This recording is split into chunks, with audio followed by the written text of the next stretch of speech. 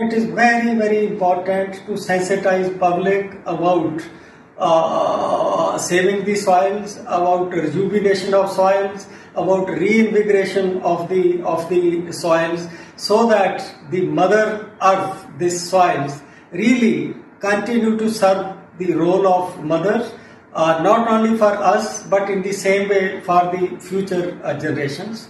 So my best wishes for success of Save Soil Mission.